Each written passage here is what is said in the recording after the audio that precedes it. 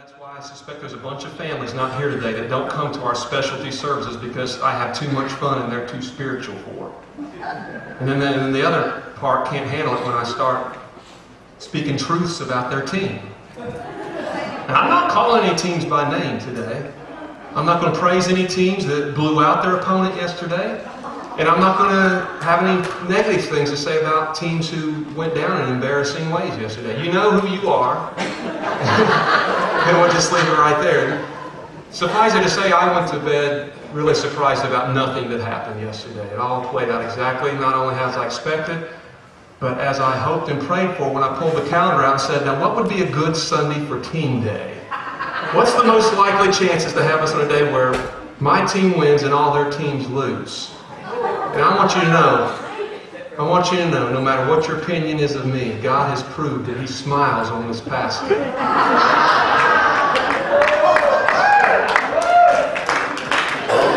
Oh, it's all in good fun, isn't it? Like I tried to tell one of the people who was harassing me via texting last night, I've noticed that people harass me more texting though when West Virginia is losing than when after we win.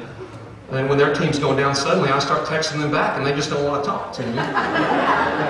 but as I was telling one sister, who's not here today, but we will be listening to this later on via internet, when the dust clears, it don't mean a thing, does it? because the kingdom still stands even when our teams fall. And ain't nothing that's really important been lost when a game is lost, right? But there's something to learn from it all. Would you agree with that? Okay.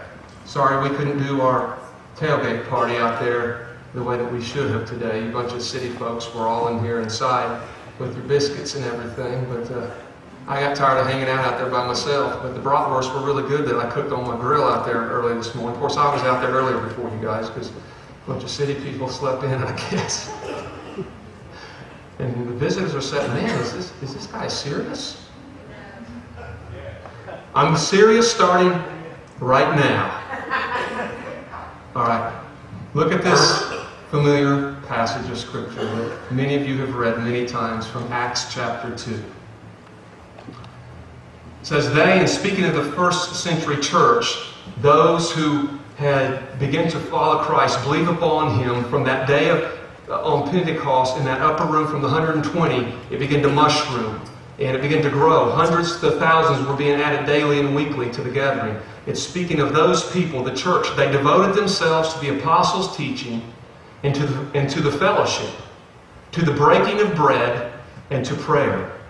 Everyone was filled with awe, and many wondrous and miraculous signs were done by the apostles. All the believers were together and had everything in common. And selling their possessions and goods, they gave to anyone as he had need. And every day they continued to meet together in the temple courts. They broke bread in their homes and ate together with glad and sincere hearts, praising God and enjoying the favor of all the people. And the Lord added to their number daily those who were being saved.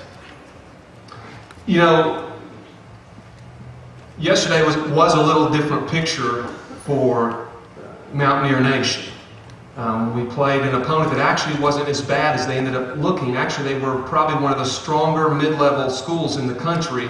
Um, it just so happened that yesterday we finally started clicking a little bit in Morgantown.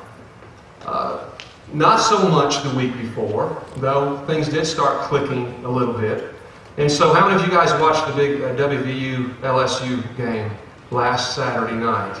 Um, along with uh, 4.4 uh, something, right at 4 million other people in the country on TV, packed out stadium. Um, ESPN's game day was there. It was a, a, glorious, glorious day for most of the day in West Virginia. And there was a lot of good things that happened that game, though. I, I, told Jackie when the game was over, I said, I'm actually very optimistic and encouraged because we finally started doing some things we had not done all year, and the only thing that killed us um, was some really stupid mistakes. And so, as I listened to Coach Holgorsen uh, being interviewed through the course of the rest of the week, he said exactly what I was expecting him to say. He said, You know, we've got a very talented football team. It's a little young, but we've got a lot of talent. He said, Our problem is we just don't have the fundamentals down. And all he talked about was fundamentals, fundamentals. And what he was saying was, in some examples he used, was that it doesn't matter how fast you run down the field when there's a punt or a kickoff. It doesn't matter how fast your defenders run down there and get to the guy with the ball. If they don't know how to grab him, wrap him up, and tackle him, what's the point? And so he was saying, you know, tackling is just a fundamental of football. Not running to somebody and getting to where they're at. He said grabbing them, wrapping them up, and tackling them. He said that's just a basic fundamental of football. He talked about some other things like protecting the ball. He said, you know, these guys know before you even tell them time and time and time again that when they have the ball, they have to hold on to the ball. They have to protect the ball. They can't just stick the ball out there anywhere they want and take off running because guys are going to be trying to tackle them. He said that's just a basic fundamental of football, protecting the ball, tackling, blocking the guy in front of you. He said it's just fundamentals. And he said, if you get the fundamentals down, he said, you'll win a bunch of games. He said, I'm not worried about our talent. I'm worried about our fundamentals. And so they're working on fundamentals now. And yesterday, it appeared they were a little more fundamentally sound than they had been all season long. I love the story of John Wooden. Some you guys know who I'm talking about. The great UCLA coach for, for many, many years greatest coach as far as winning percentage that's ever existed in any sport on any level throughout the history of this nation. John Wooden passed away last year in June, 99 years old, and quite a legacy was buried with him. John Wooden won 10 national championships at UCLA. 10. That's a lot in case you don't know much about college sports or any other kind of sports. That's a lot. 10 national championships. At one point, they had strung together 37 straight playoff wins. I'm talking about postseason, where you get into the playoffs and you go all the way to the end and you win, and the next season you're in the playoffs again and you go all the way to the end and you win again. 37 straight tournament victories. He had four teams that went 30 and 0. Do you understand how difficult that is in college basketball? At one point, they had put together 88 consecutive wins. That's, that's incredible. And I understand that if you're really not into sports a lot, some of these statistics may not really resonate in you. But if you are into sports at all, you understand how incredible these statistics are. John Wooden was set apart in many ways, but the primary way he was set apart as a coach was that he never, never, never scouted opposing teams before playing them. Next week, West Virginia plays UConn. So this week, um, coaches have already been looking at a lot of, a lot of tape, a lot of games that UConn has played. They're, they're looking at their offense, their defense. They're trying to figure out where's their backs, how do they run, how's the quarterback operating here, um, how's their, their, their defense schemes. You know, they're looking at that and they're going to pass that on to the players. They're saying, look at this, how they're doing. They have scouted a team before they play them and they show them tape, video, so they can prepare for it. It's common in college sports. It would be incredibly, incredibly, incredibly rare for any college coach on any level, whether it be football or basketball, not to scout their opposition in order to prepare for them. John Wooden never one single time ever scouted a team before UCLA played them.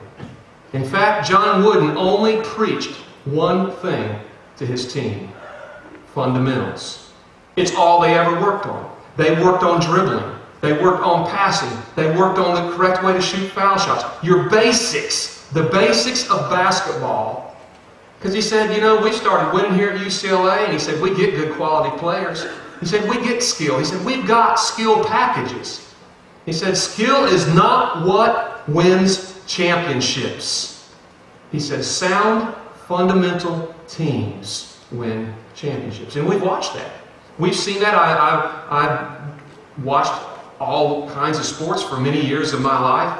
I used to really be into the NBA, professional basketball, and I was the most avid Chicago Bulls fan you could ever imagine. That's the last thing I've got left up there's that old Afghan. And I had to ask my wife, do I still have that Bulls Afghan laying around? So I dusted it off and brought it down here. I used to have all the paraphernalia and, the, and, and all the clothes, and it's just like, and I lost interest. There, once you get a certain percentage of thugs in a sport, I start losing interest, which is why I have no interest in, in the NFL. I have no interest in professional football, as much of a Bears fan as I used to be. I love, I love college sports because most classy coaches do not allow thugness on their teams. Uh, I've watched many, many years as teams that were preseason picked to do very, very well ended up not doing well at all. They were preseason favorites because of their talent, man. Just loaded down with talent. They had five star recruits and four star recruits, and, and everybody said with, with that kind of recruiting, they're going to win Buku championships. And in fact, those teams often would struggle and struggle and struggle. And then there would be teams who, who didn't seem to have that much talent, but they would go so far. People have been surprised, actually, speaking of West Virginia, that, that in college basketball, in the Big East Conference, which is the strongest basketball conference in college sports, that West Virginia the last few years has done so well. I mean, we always end up in the playoffs and always end up at least in the Sweet 16, a lot of times the Elite Eight, and a couple years ago in the Final Four. Knocked off Kentucky, not that I'm trying to stir anything up here today. But our recruiting, our recruiting classes were nothing compared to what Kentucky would recruit, or UConn, or Syracuse. All kinds of teams like that. North Carolina, Duke. Those teams, perennial powers, recruit all the stars. And it just so happens our last two coaches, and this one especially, preaches something that has been lost in the art of basketball. It's fundamentals. It's fundamentals. It's fundamentals. John Wooden was our case in point that life is not about ability, it's not about talent. It's not about those things you try to muster up at the last minute. It's about attaining sound fundamentals in life.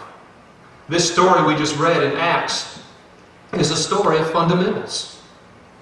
It's a story that if we take 2,000 years ago what was going on in the first century church and we mirror it against the church today, we would see quite a contrast. We would see a first century church preaching sound fundamentals. They were saying you got to have a solid prayer life. You, you've got to have that time where you get alone with God and you have this commune time with God in prayer. They were a church who understood we have got to get ourselves in a place routinely where we're hearing the Word of God being taught. They were devoting themselves to worship. And they were devoting themselves to a fourth component that wouldn't look all that supernatural to the untrained eye simple, basic fellowship. That's the four things they were doing fundamentals. They were praying, they were in the Word, specifically in this context, with the apostles' teaching, because you've got to remember they did not have Bibles. Not even the King James back then, despite what some people think. They were worshiping and they were fellowshipping together in each other's homes, literally sharing meals communion time together as families and friends. Because they were so fundamentally sound, they saw incredible evangelism. They saw incredible miracles. And Luke, the writer of Acts, said that the whole city of Jerusalem was filled with joy and was awestruck by what they were witnessing in this thing called the church. But all they were doing was adhering to fundamentals. There was nothing flashy going on. There was no special hybrid sermons being preached. If we mirror that against a more modern day church, we see that rather than focusing on fundamentals, we have a church in America, especially that has put more emphasis on things like, like, like altar services where we will preach something to the people and we'll say, um, I know you've got this problem and that problem, and, and you have no peace and you have no joy, and you're needing a miracle, and you're needing this fixed and that fixed, and we know your life is a wreck. But if you'll come up here today to this altar, we're going to pray with you and lay hands on you, and your life is going to change today. And while there are some incredible things that can happen around an altar, there is no doubt. We've done a little swapping through the ages and we have traded sound fundamentals in serving God with flash in the pan experiences that are supposed to transform somebody's life. You see, we took the instantaneous physical healings of the Bible and we set that up as a filter to process every single human need through. And because Jesus miraculously healed broken bodies on the spot, somehow we equate that to broken lives being healed in a moment, in a second, on the spot, even though the Bible really doesn't have any of those stories. We write books, we hold special conferences. I grew up in churches, and please, please always be able to hear the, the full picture of, of what I'm trying to say. When I take things from the past and say, we've got to rip this thing out, we've got to throw this thing out of the body of Christ, I'm by no means ever saying we've got to throw the baby out with the bathwater. From glory to glory, He is changing us. And if it wasn't for the things that happened in the last generation, we wouldn't be where we're at today in the body of Christ. But we have to be wise and we have to look at our situations and we have to say, was this working or was it not working? And the whole problem was we were trying things to see if it would work. When I push this button, God does this. When I don't push this button, God does this or does not do this. We went from being a church who was birthed out of sound fundamentals to a church that tries to live in a microwave.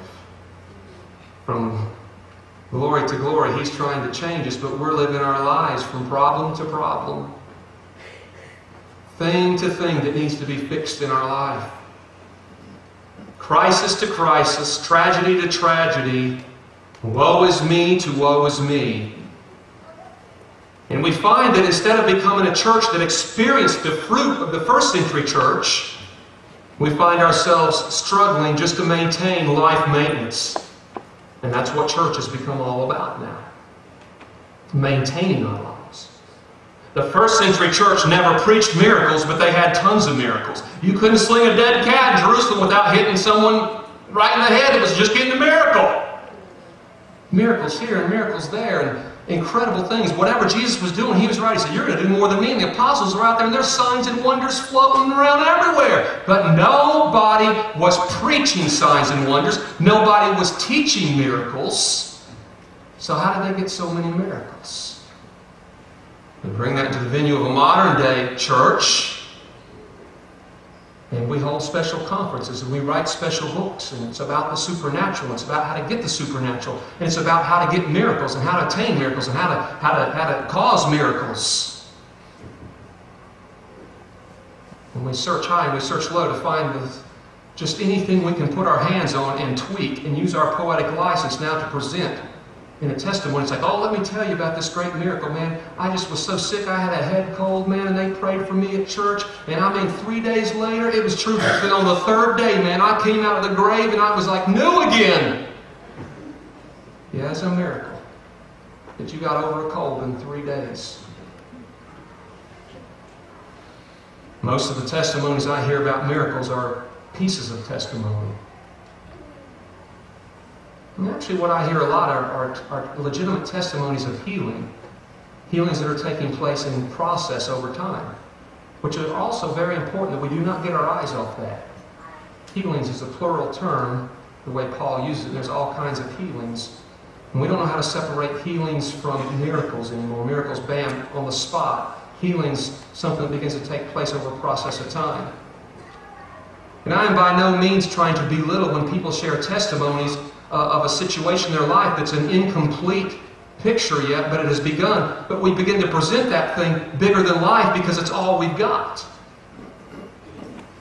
In the first century church, they never taught on healing, and they saw lots of healings.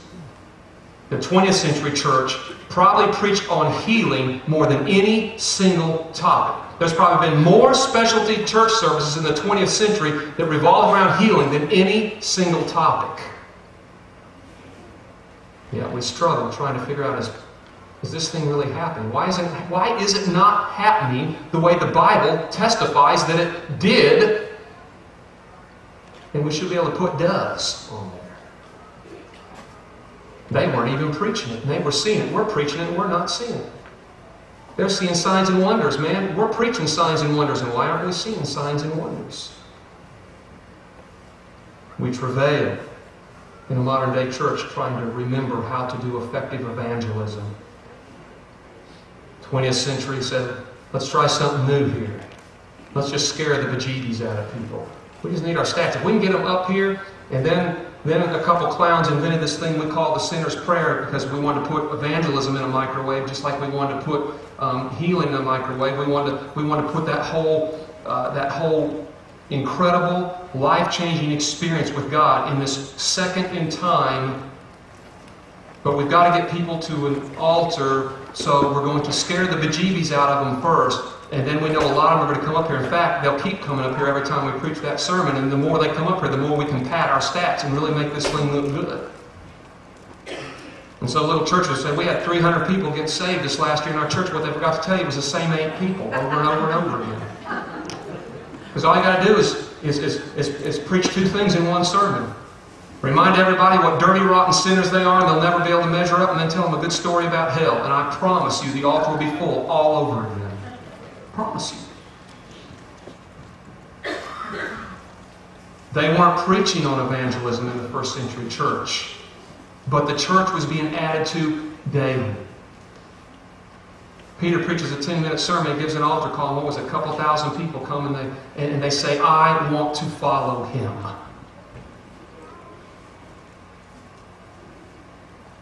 All the things we're trying to attain, we're trying to attain them by preaching them and having altar calls that revolve around them. And, and we're, we, we're, we've just millions of books in, in print that helps people get through the dilemmas of life, the problems of life, the conflicts of life, the, the adversary uh, of life that try to attack us. And, and, and churches revolve around trying to help people get through life. But nobody was preaching anything to try to help anyone get through life in the first century church.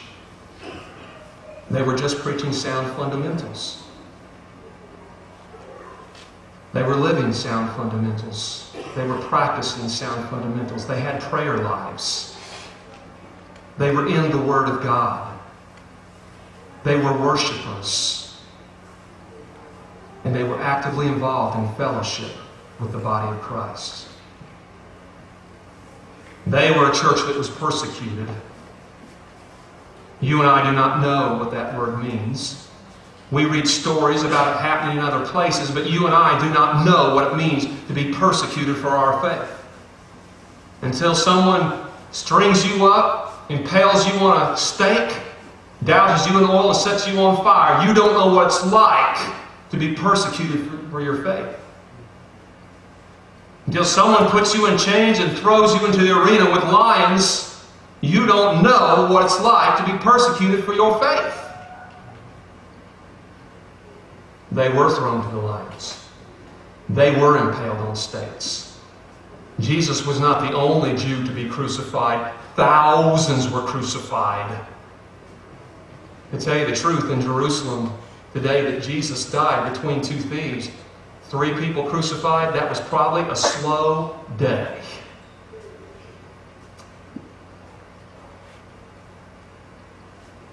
You don't see anywhere on record their ministries or their churches begin to revolve around a just hold on attitude.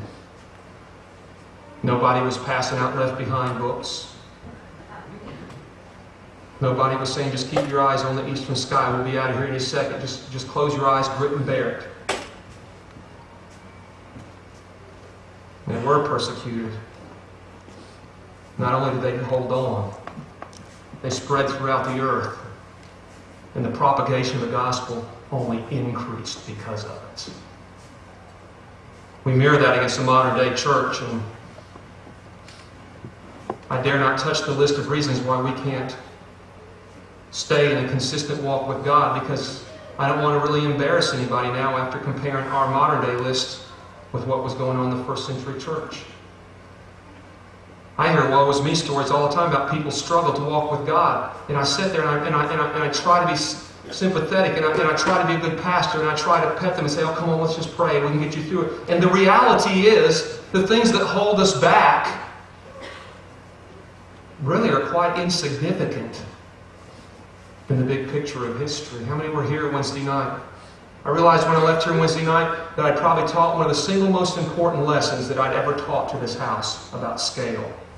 And I realized if we could have only got that one lesson Wednesday night, if we could get that and put that in us and hold that in our spiritual tummies and digest that, I realized that our walk with God would so radically change. We, would, we wouldn't know ourselves or each other six months from now. We don't have proper scale for life, so we think that we're suffering for Jesus and we think we're being persecuted and we think it's so hard to walk with God. So I have to look at this picture in the first century church and I see what these people were going through, the price tag that was involved in walking with God and knowing Jesus and serving Him and being a disciple of Christ and being the church, meeting together in public places and the risk that was involved. But instead of Luke saying, and the people were hiding out in their basements, fearing for their life, wondering what had they got themselves into, Luke said, man, this thing began to spread. He said the whole city was in awe of what was going on. He said the whole city was filled with joy and they were amazed at what the disciples were doing, the supernatural wonders of God. I look at a first century church that had sound fundamentals. And I compare it to a modern day church who operates in a microwave type mentality that honestly believes that the equipping to walk with God takes place in a second at an altar, or the reading of a book, or the attending of the next conference. First century church prayed. They adhered to the teaching of the apostles. They fellowshiped and they worshiped. The result was great evangelism, great miracles, great joy, and great endurance through true suffering and persecution.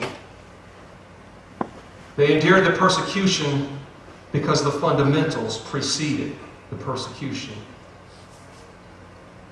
They enjoyed great signs, wonders, miracles because fundamentals preceded the miracles. The Bible's full of stories of people that that are just glimpses of the same church, this first century church. We see that there's an ordered steps of God here that if you put this in your life first, you put this in place first, get these ducks in a row, then when you face this later on in life, the results will be completely different. I want you to know that long before David faced a giant, he was a worshiper. He did not wait till he faced the giant and said, Oh my gosh, I better go to church and really worship this week to help get rid of this giant.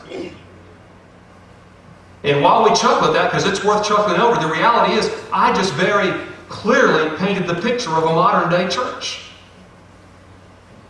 What percentage of people in churches in America today are there because they fit into the category of everything's going great, so now I can serve God? And which percentage are there because say my life is not going great, it's falling apart, so I better get back in church and let God fix this? You see, in America, we become a very reactive culture. We react. We wait for something to happen, then we react. It happens, we react. It happens, we react. We, if you were here last week, we are, we are classic operators of Newton's law. For every action, there's an opposite and equal reaction. So we wait for something to happen, then we react. Something bad just happened, I better get in church. Something just happened, I better start praying. Something just happened, I, I better start worshiping. Something just happened, I better start going to church.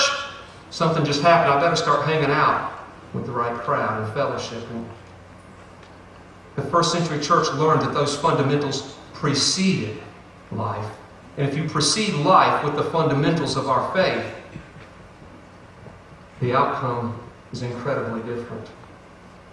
David did not wait till he was hiding out in caves, running for his life to become a worshiper. David was a worshiper before he found his life in a musty cave. David was a worshiper before he was on the land. Because David had those fundamentals in place first.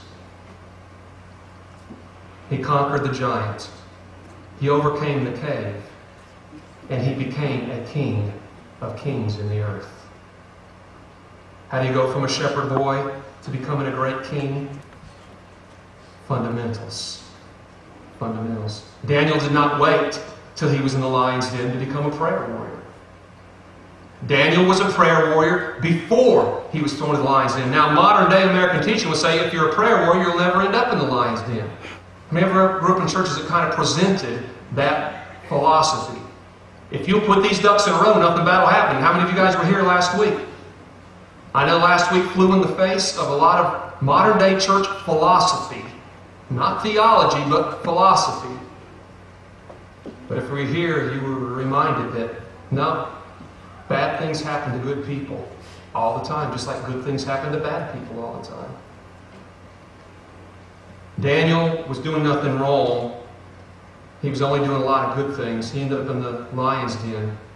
He made it through the lion's den. He come out of the lion's den with a king saying, not only is Daniel God, his God, I think we need to make him our God too.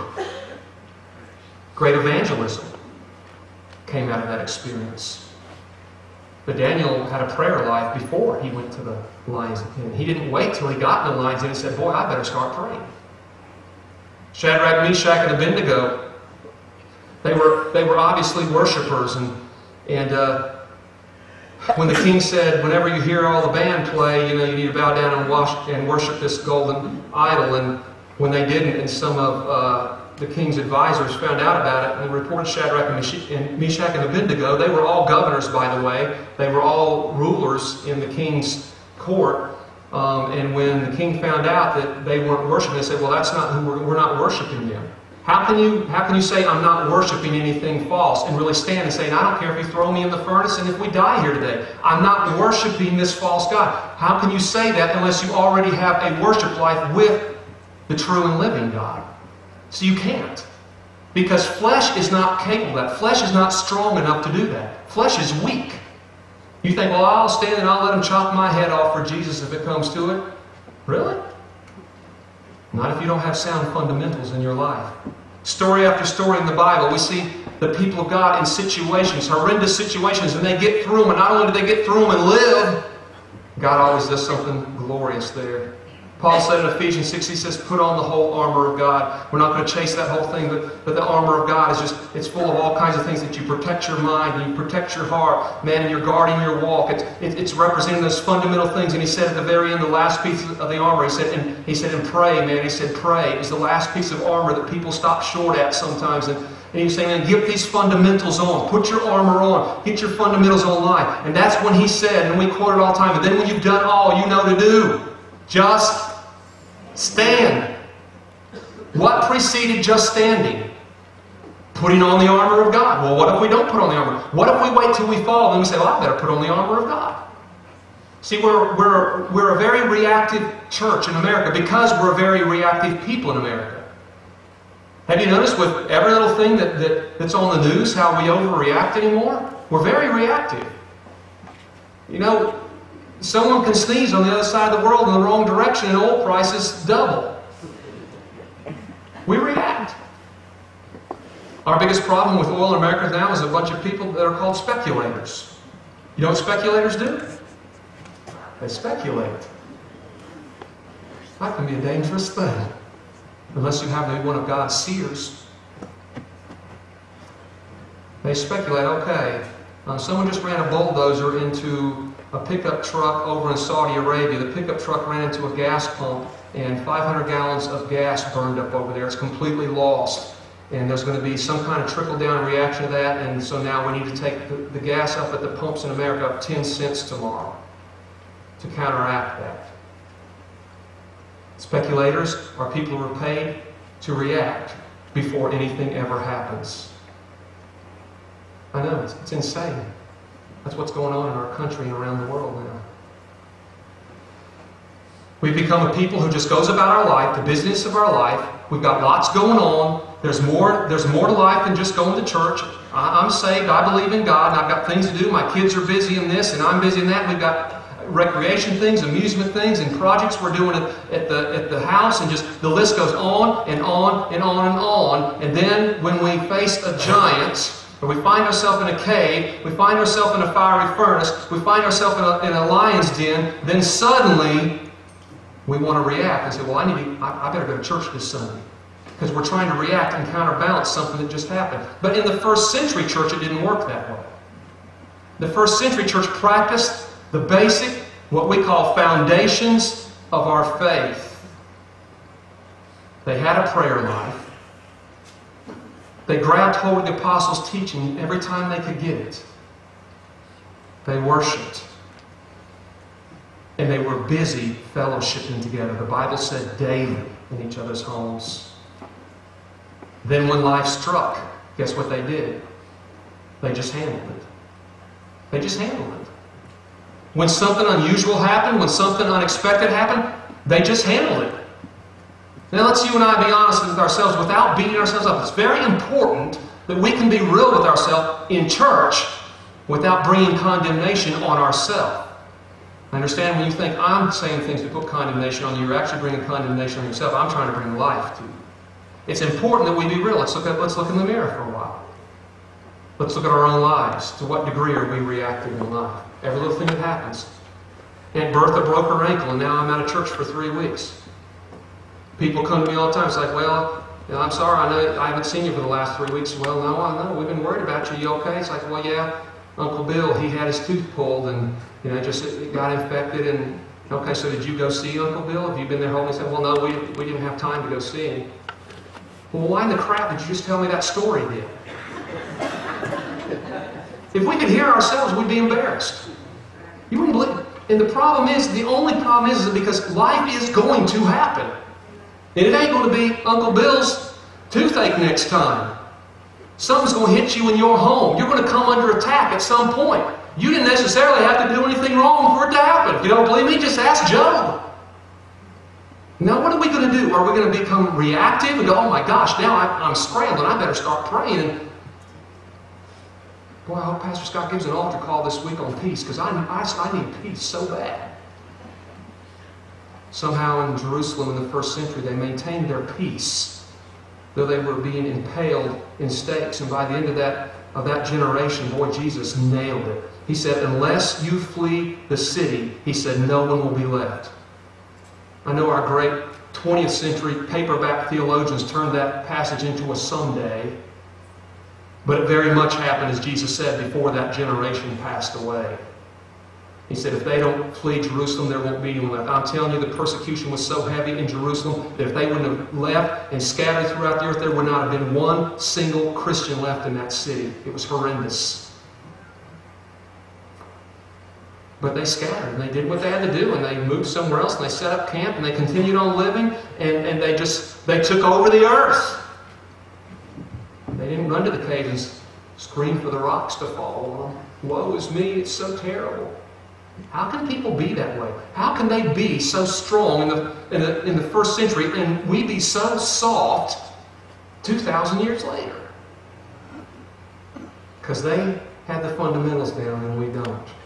I won't ask for a show of hands here today, but the statistics that are often reported, and I don't know who's taking up these reports and doing those reports. I don't know if they're through phone calls where no one's given names or what. I know I wouldn't give my name probably, but they're, they're always releasing these statistics where pastors can get their hands on them. The percentage of people in America, the average percentage that's tithing, the average percentage that, that has that how long they spend praying every day, how often they go to church every week. And, and I look at those stats, you know, uh, uh, right now we're down to, to 12% of American Christians tithe. Less than 12% admit to having a legitimate prayer life. The average family under 40 doesn't go to church more than half the time, even when they say, I'm part of that church, that's where I go and I'm involved there. They're not there half the time getting teaching. You, you, you know you don't want the statistics on daily devotional Bible reading. You know you don't want that right. By the way, you ain't going to see anything else new in that shortest psalm you keep reading every night before you go to bed to make yourself feel better. Ain't nothing else in there. You've peeled that onion as far as it's going to go, okay? Guys, I didn't come here to spank us. I came here as a coach today. A coach that looks out at the body of Christ, and especially here at Cornerstone Family Church, and say, man, we have got a pool of talent here. Lord, if you've ever been to any of our VBSs or anything we do where, where we tap into the creative nature of this house, man, you guys are just, you are some of the most resourced people I've ever seen. Man, this, this is a, I wrote a letter to some pastors the other day talking about how that, that I'm seeing such a, um, a testimony of Jesus Christ in, in this place. Because while other churches are out um, just raising money, raising money, raising money to buy all the things they need, we're not a church that has the money to buy all the things we need, so we have to create it. We have to come up with great ideas. And if someone else has got something we really wish we had that costs $5,000, we have to figure out how we can make one for $50. And the one we make for 50 almost always looks at least as good as the one that costs 5 grand. It's incredible what you can do when you tap into the image of God that's inside of you.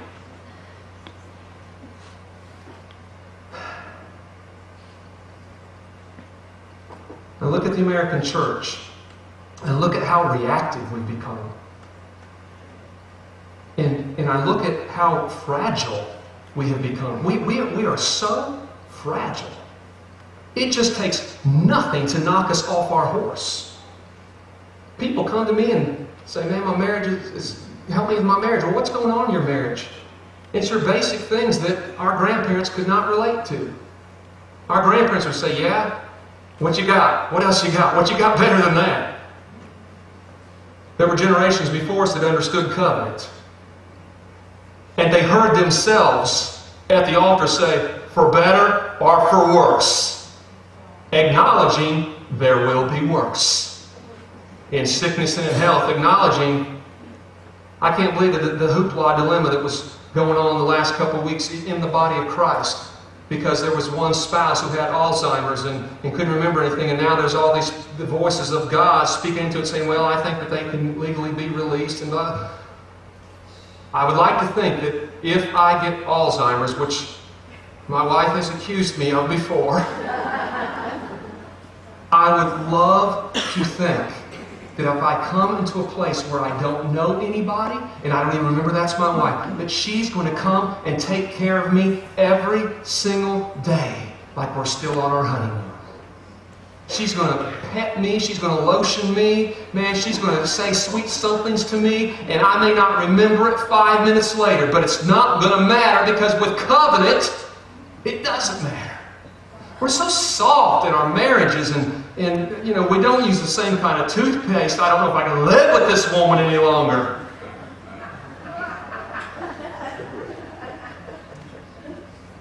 Instead of finding some cutesiness in those weird, weird little things that we all do, say, oh, that's cute how you do that. No, we're annoyed by it. Now it's rattling our whole world, and I don't know if I can stay in this marriage any longer. You guys figured out that in marriages, male and female is not on the same page. They do not see life the same way, so they fight. Because both of you are right, the other one is messed up. You're really just male and female the way God created you. So when you say, well, I can't live with that person because I'm like this and they're like that, then you're telling me then, then, uh, then you don't need to be married anymore. Uh, we, we struggle trying to parent we struggle with our jobs. We can't handle anything on our jobs. It doesn't take anything to stress us out and fill us with anxiety. We've become so soft. If we're going to get miracles, then we've got to preach about them. Did you guys understand? Do you, do you get it that when you preach a sermon on miracles, it does not make miracles happen? Preaching sermons on healing does not cause healings to happen. Let me tell you what causes healings and the supernatural to flow. People that are walking in the foundations of Jesus Christ. They have a prayer life. They, they are in sync with the Word of God. They are in fellowship with God's people and allowing iron to sharpen iron. They have a worship life where they're soaking in the presence of God. And now, wherever they walk, there is the potential for a miracle every time they stretch their hand out and touch something because the anointing has been released through their prayer life and through, and through being in the Word and adhering to, to the apostles' teachings and, and fellowship and, and worship. It's, it's, it's loading them down with stuff. It's putting seed in them, and it's nurturing seed, and there's a harvest growing, and now they're just they're ready to release harvest wherever it's wherever it's needed. And now instead of spending their life with life maintenance, trying to just hold on, they're not even thinking about their lives anymore. Was that not supposed to be the great prophetic decree over the body of Christ? They would not even care about their lives anymore. They overcame. John, how did they overcome? They overcame by the blood of the Lamb, the word of their testimony and they did not even love their lives enough to try to hold on to their life. Why? Because Jesus said, if you try to find your life, hold on to your life, what will happen to your life? You'll lose your life. Our whole church experience in America is revolving around one thing right now teaching people how to hold on to their lives. Life maintenance. Life maintenance. It's on TV. Some of the biggest churches in America today, their sermons revolve around life maintenance, life maintenance, life maintenance. I'm telling you, 90% of what we're preaching to get the results we hope to get, we don't have to preach. We've got to get back to learning how to tackle, learning how to block, learning how to protect the ball. We've got to get back to the fundamentals. We're coming and we're wanting someone to lay hands on us and change our life. And people are coming to me and they're broken. And I'll set them down and go, come on, I want to help you. I want to help you. I want to help you get your life back on track. Let's talk about some things first. They're wanting to talk about the problem. I'm trying to find where the problem started at. And it's like, well, if, if God would just do that, I hear like, well, if God would just do this. Or if this person would just, if my husband would just do this. And then I, I pull it back and everyone gets mad and say, come on, forget that for a second. Where are you at with God right now? Tell me about your prayer life. Well, I don't really have a prayer life. Okay, what's been going on with you in the Word? What, what have you been studying lately? Well, I'm, I'm not really in the Word. Okay, I've noticed you're not at church real often either. But somehow we're wanting a magic act up here. We're wanting people to pull out magic wands. Well, if I can just go see Benny Hinn, I know I'll get healed. Really? Well, maybe you can get healed and be as excited as a lot of other people I see walk across the stage. You see them for the first time and they're remotely calm about it. I mean, just incredibly calm. Guys, I'm not saying miracles aren't happening out there in Sunday, but I'm telling you, in the Bible, people were getting miracles and they were leaping and dancing and praising God. They could not contain themselves. I hear testimonies of miracles and I don't see that kind of reaction. I'm wondering, did a miracle just really happen right there? Because I'm thinking if I'm hearing for the first time, it's going to get crazy in here real fast. If I'm getting up and walking for the first time, Son, open that door, open the door at the front, get ready because here I come. What's happening, guys? We've built a pseudo church that is falling way short of the glory, the reputation of God.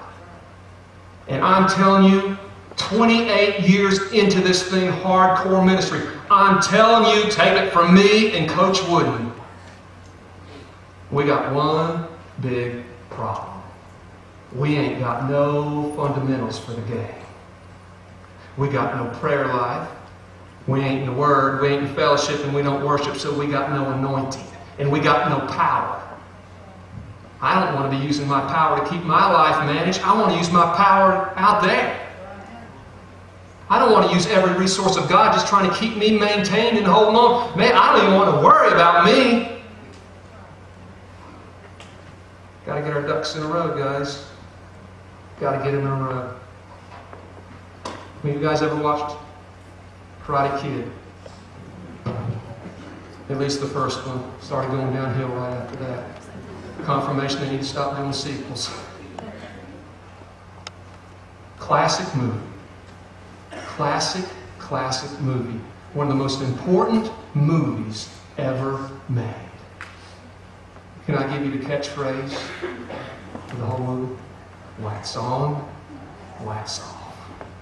Well, what's this got to do with karate?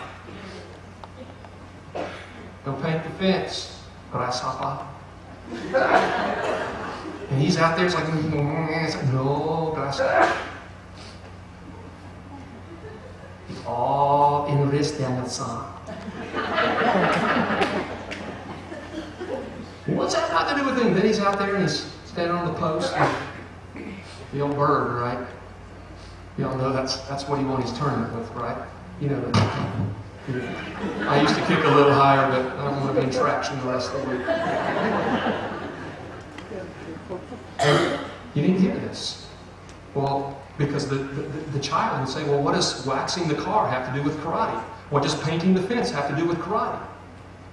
But then you notice when he was in the tournament, whatever his opponents would throw at him became automatic response.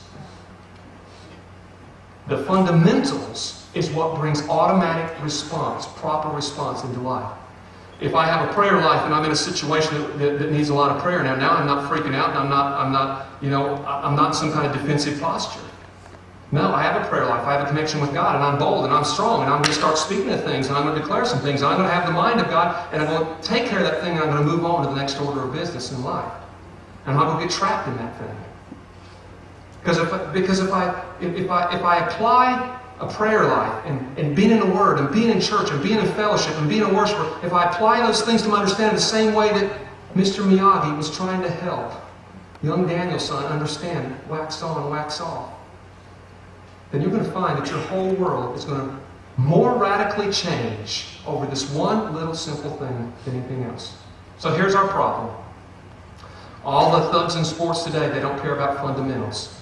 Basketball players just want to see who can jump the highest. Have you noticed, how many of you guys watch the NBA dunk um, competitions? Have you noticed the guys who jump the highest and do the fanciest dunks are not the stars in the NBA? Have you noticed that? Since the Michael Jordan, Dominique Wilkins day, there's been no superstars really doing the dunk competitions. The guys that can jump and do all those fancy dunks and do all the fancy magic wand stuff, they have no fundamentals. And so when they're actually out in the game, they don't really they don't do anything. They don't score. They, they don't really matter if they're on their team or not. They flash. They got the bling. Um, they, they, man, they got all the moves. You know, everyone's got the moves now. Football players, man, everyone's like, I run a 4.1, 4.1, 4.1. Coaches will say, I don't care if they run a 2.1. If they don't know how to protect the ball, I can't use them. Some of the fastest guys in college football never get to carry the football for one reason. They've never learned the, the fundamentals of holding on to the ball. Guys got to get the fundamentals down. If we will, if we will stop all this nonsense that we're doing in the American church, we're, we're, we're revolving our whole church life around um, trying to preach things and, and, and have altar calls around things, things we're trying to get right there in that second. Get back to the fundamentals of life. I'm telling you, we're going to have the same response they had in the first century church. By the way, that is our promise. It's going to happen. Question is, will we be part of it? They weren't worried about their lives, and so they had incredible evangelism, incredible signs and wonders and miracles. And the city was filled with joy. And everybody was amazed and awestruck at what all God was doing in the church. That's what I want. How do we do it? Well, in the words of a great Christian singing group, we need to get back to the basics of life. He knows that song, I should have brought that and let you play that back there. Back to the basics. Back to the basics. How many of you guys believe what I'm telling you is true today? How many of you would say, and I know I need to get back to these fundamentals in my life? I know it. When I shrink back, I struggle. I think it's your fault. I think it's her fault. I think it's Hannah's fault. I think it's God's fault. I struggle when I start shrinking back from the fundamentals. But when I am zoned in on the fundamentals, I want you to know my life is strong and confident. And man, I just blaze through life. We know this, but now we have to make sure we do this. Why don't you stand with me?